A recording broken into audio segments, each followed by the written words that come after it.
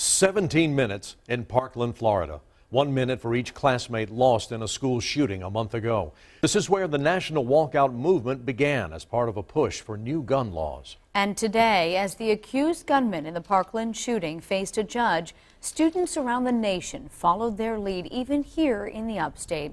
All over the upstate, we've seen and heard from students finding different ways to show solidarity for school safety. We have team coverage for you tonight. 7 News reporter Aaron Rogers is in Greenville County, where students were told to keep their demonstrations indoors for safety reasons. First, let's get to Nicole Ford, who's in our Anderson Bureau tonight. And Nicole, a very emotional day for the people of Anderson County.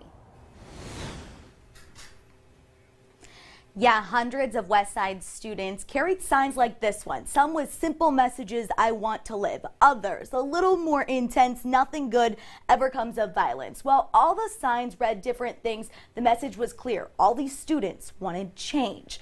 Now, roughly 300 of those students at Westside High School walked out of their classrooms this morning at 10 a.m. out into the cold on the practice field to listen to student speakers share reasons why being part of this movement is so important. Now, the students asked for change in that no more school shootings occur and that they feel safe getting their education there was a point in time where I was kind of scared to even come to school at one point. So the fact that you know, we can do something about this. It, it, made me want to stand up and say, you know, I want my friends to be safe. I want to be safe. I want my students to be, my future students to be safe.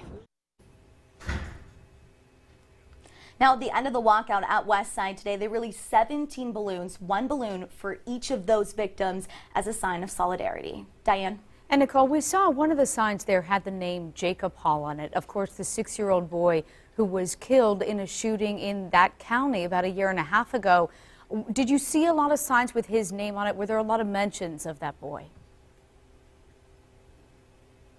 Yeah, actually, along with those balloons, they actually released a superhero balloon for six-year-old Jacob Hall. Now, some of the students I spoke to said that even though they didn't live in Townville, that school shooting impacted them in all of Anderson County. So walking out today was more personal for them than just the Florida shooting or Columbine or Virginia Tech. It was something that they had experienced right here at home.